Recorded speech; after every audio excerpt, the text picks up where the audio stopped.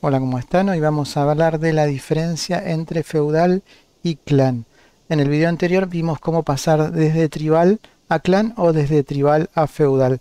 Básicamente los feudales son los europeos, occidentales, y los clanes los representa con los musulmanes. Pero nada impide que una vez que seamos clan musulmán pasemos a cristiano o viceversa.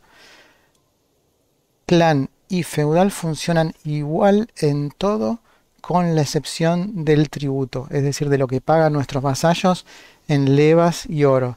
Es diferente en cada uno, en feudal está basado en los contratos que tenemos con, con nuestros vasallos y en el clan está basado en la opinión que tiene el vasallo de nosotros. No es lo mismo que cuando éramos tribales. Cuando éramos tribales, recordemos que lo importante era el prestigio, Acá es la opinión, es decir, este numerito que aparece acá, que no es exactamente lo mismo que prestigio. Así que vamos a ver en detalle cuántas levas paga feudal en base al contrato y cuánto paga un clan en base a la opinión que tienen sobre nosotros.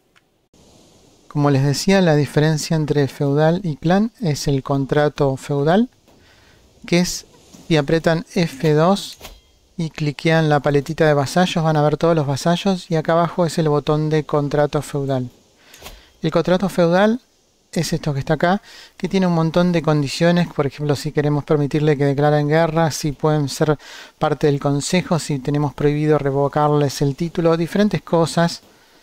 Y arriba es la contribución de impuestos y de vasallos. Cuando más a la derecha, más impuestos, cuando más a la izquierda, menos impuestos.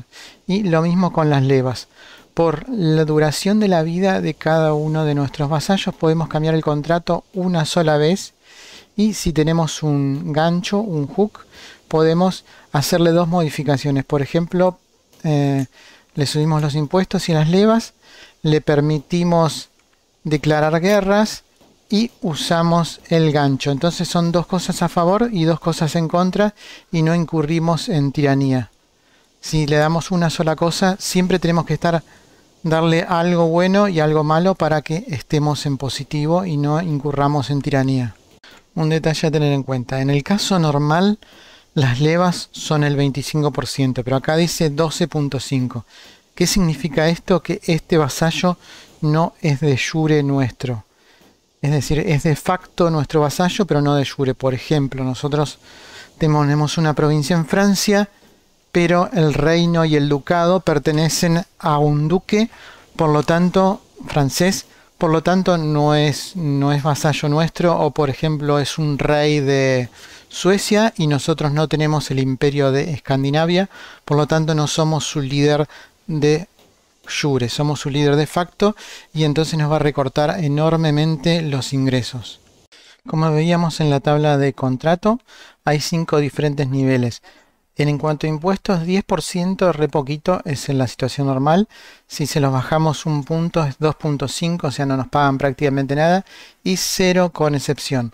Y para arriba, con el primer nivel, se lo subimos al 15%, del 10 al 15.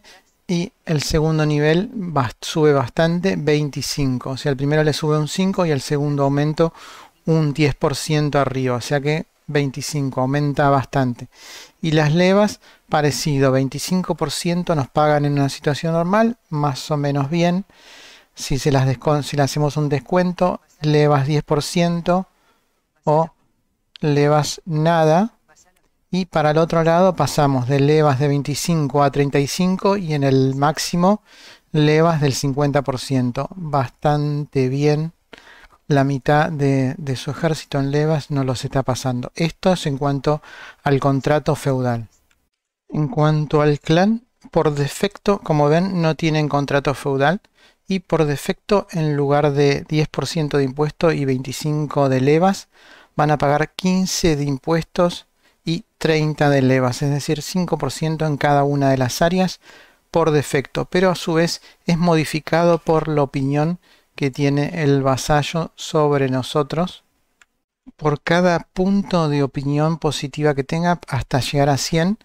Llegando a 100 le sumaría un 10% de impuestos y un 30% de levas. Es decir, que si el básico de levas es 30, con un 100% de opinión, llegaríamos a 60% de levas, que es un poquito más que en feudal, que en feudal llegamos a 50. Y en impuestos pasamos del 15 al 25. Y de la misma forma, si tienen opinión negativa, empiezan a pagar menos impuestos y menos levas, pero es mucho más pronunciado. Es decir, que tenemos que llegar a más 100% para obtener todo el beneficio, pero con solo menos 50% de opinión negativa ya no nos pagan prácticamente nada. Y en clan tiene una particularidad que si vamos subiendo la autoridad de clan, obviamente van a empezar a tener una opinión más negativa que nosotros, igual que cuando somos vasallos y subimos la autoridad mm, la autoridad del, del, gobierno, pero nos van a aumentar el mínimo de impuestos y de levas que nos van a pagar. Es decir, por más que nos odien, si estamos en nivel 4, algo nos va a pagar y lo que nos va a pagar es lo siguiente.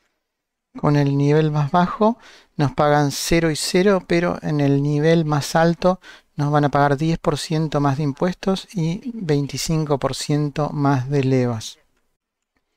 Entonces, recapitulando como clan.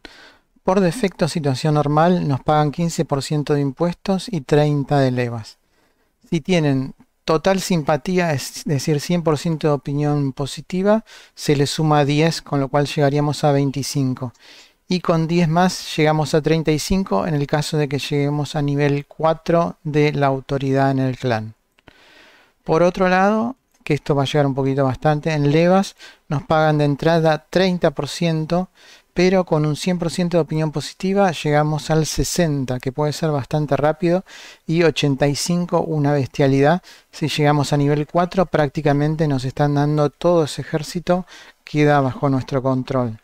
Y en el caso de los vasallos, en el caso óptimo, perdón, de feudal, nos pagarían un 25% de impuestos y un 50% de levas, es decir, bastante menos.